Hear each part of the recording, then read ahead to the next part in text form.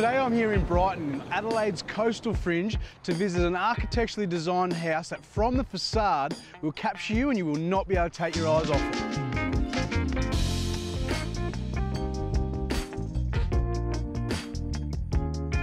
This house, straight from the onset, looking at it, is got so many features and such an organic feel. How did you guys come about and execute this job? Oh, look, we've got some great homeowners here. Really gave us a terrific brief to have an entertaining house.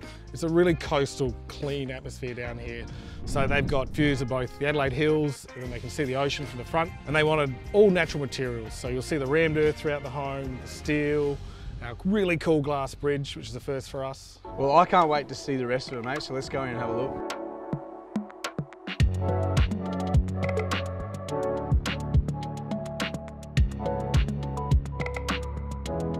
Mate, as a tradesman, I, I, always look at the build and what's involved in a build. And I mean, I can see this rammed earth. There's so much work involved in that. Yeah. And then we've got this butterfly ceiling up there. I'm sure the chippies and the plasterers weren't happy with that design. Yeah, absolutely love me for the double double rake butterfly roof. Uh, but it just allowed us to get more, more high level windows, more openings in the house and just a bit of relief on what can be a compressive element, that just straight raked roof. Well, it looks amazing. And I mean, the, you've, you've started to bring in the curves up here as well in the kitchen and then this timber batten wall. I mean, it's taking those sharp edges of the, of the rammed earth away and, and bringing in that, that nicer curved feel. Yeah, exactly. I mean, it's a big space, but it's not huge. So just taking off some edges just relaxes the feel of the home. It's a little bit more coastal as well. Uh, we're trying to find an industrial edge with our home with plenty of natural materials and those curves really soften it. And when you say coastal, I mean, we've got coastal, we've got industrial, we've got some mid-century furniture. It, it's all sort of a mix, but it all works perfectly in the same space. Yeah, it's actually quite a simple palette in the end. There's timber, some black steel and black joinery, and then there's the rammed earth, which I would like to think is the showpiece, but it's each to their own.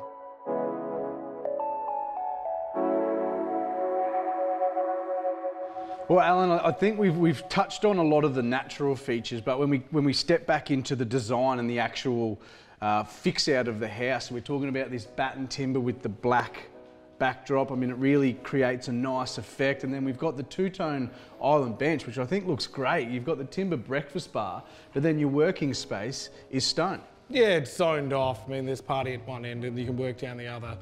The black kitchen's recessive, so it's not taking over the space but it shows off that beautiful bit of stone that we've brought over from Melbourne. The master suite, I mean, it, it's the epitome of a well-designed house.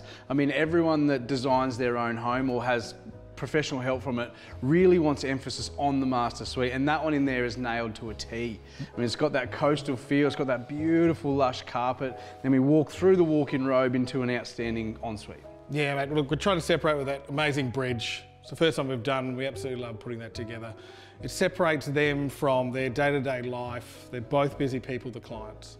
Then they've got that amazing view through that picture window to the, to the ocean. Yeah. They wake up to that, they read books in that little alcove.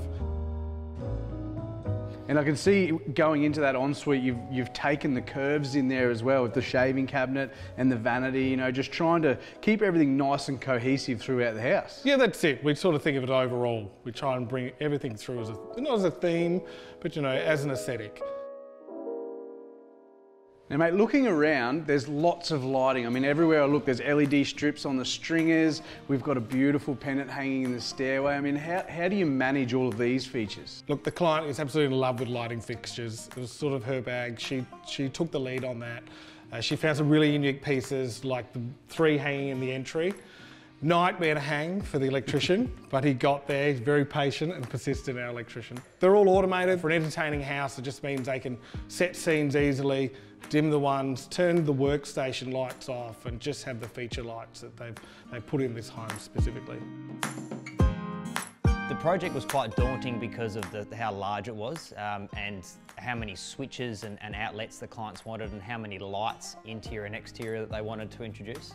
Um, and then um, and how they wanted to automate everything. It was just lots and lots and lots of cables in a in a in really a, a domestic home. So we didn't fully fit out the house from the beginning because the clients, you know, weren't sure how much they're going to use, um, how they were going to use the product once they started living here.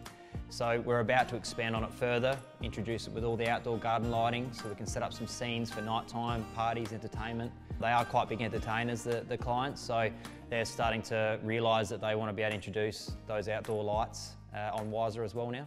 The owners love their lighting. Uh, they picked from lights, some lights from all around the world for this project. That was a joy to see what kind of lighting we were able to install.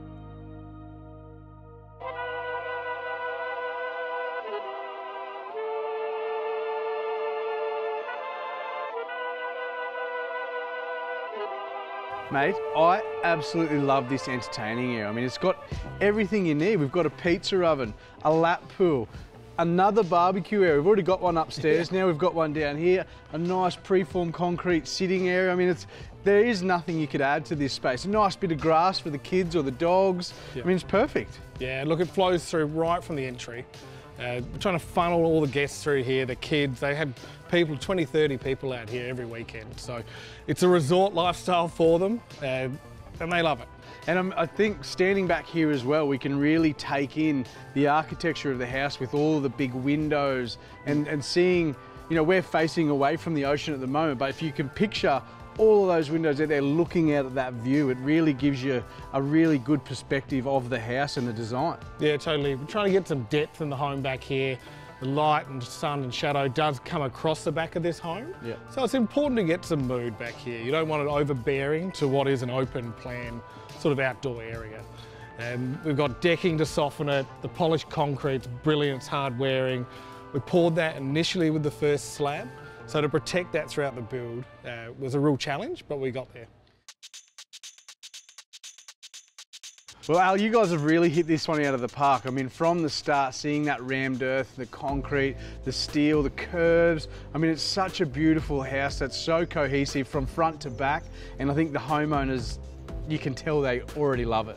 Yeah, they're fantastic. They've been living in here for a year now very little complaints from them. Uh, we've just tried to make a home that's not overly huge, it just uses the spaces that we've created for them properly. So there's not extra rooms in this house, it's just using the volume we've got.